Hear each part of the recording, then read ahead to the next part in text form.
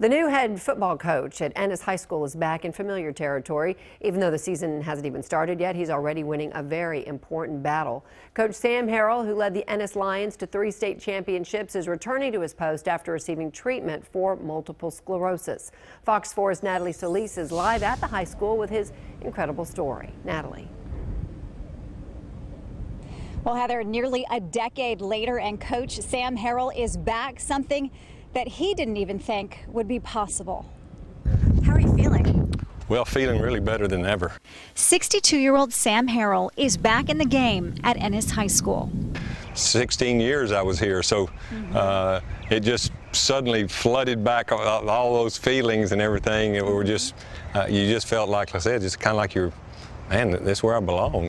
16 years, three state titles, 11 consecutive playoff appearances. But in the middle of all the success, some devastating news about his health. And I was working right there in that office when I got it. I remember, you know, it was in 2005. And, uh,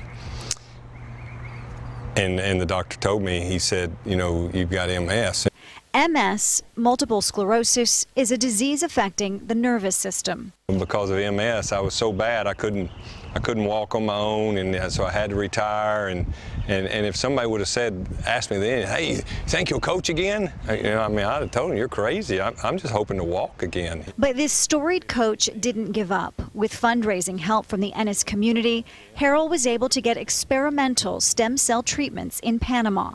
After three of five stem cell shots, he noticed miraculous improvement. You get those fresh new ones running through your body, and they get in there and correct things, you know, and, and, and that's what that's what mine did.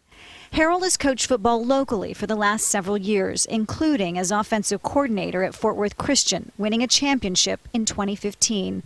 But coaching back at Ennis is a homecoming he could only dream of, and now he's ready to take the field and win. They've won five here now, so they're kind of used to that, and those three were pretty fun, so we, we, we'd like to shoot for that again.